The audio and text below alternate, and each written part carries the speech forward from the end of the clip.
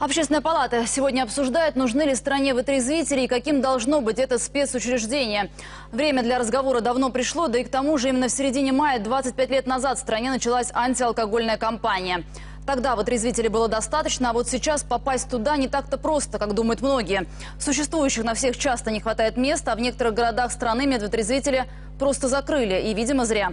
Наш корреспондент Илья Костин попытался трезво взглянуть на ситуацию. Эту женщину милицейский патруль нашел уже за полночь около одного из жилых домов Ульяновска.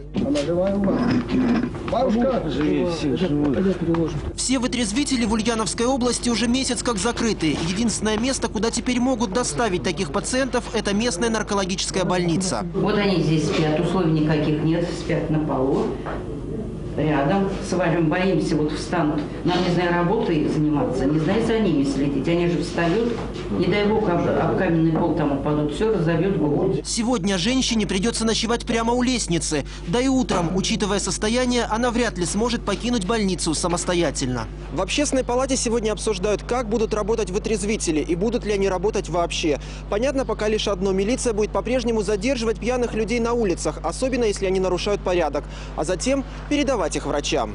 Решение о выводе вытрезвителей из ведения МВД к Минздраву, объявленное президентом еще в феврале, одними из первых поддержали правозащитники, которые давно и последовательно критиковали существующую систему вытрезвителей. Их правовой статус не очевиден, непонятен и уродлив на самом деле. Где там кончается медицина, начинается правоохранительная система, непонятно. Взять вытрезвители на свой баланс в Минздраве согласились, но при этом задумались, а нужны ли они вообще в своем нынешнем виде. Уже у нас в 16 регионах закрыты медицинские вытрезвители. Милицейским экипажам дается право доставлять таких людей в состоянии алкогольного опьянения либо в дежурные части и содержать их там до вытрезвления, либо в медицинские учреждения где они будут лечиться. В Москве, на многомиллионный город, сейчас работает только один вытрезвитель. Задержанных за распитие спиртных напитков ждет составление протокола в милицейском участке и штраф от 100 до 300 рублей. Для сравнения, во Франции сумма штрафа может достигать и тысячи евро, и трезветь нам придется в полицейском участке.